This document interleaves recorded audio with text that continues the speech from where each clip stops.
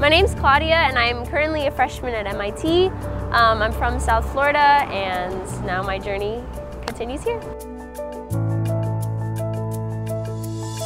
My family is from the Azores Islands, which are in the middle of the Atlantic. Just knowing that where my family comes from and the lack of education, they've built me up with such important skills of interpersonal communication, team building, leadership, and now it's just my turn to take this and put it in an academic context.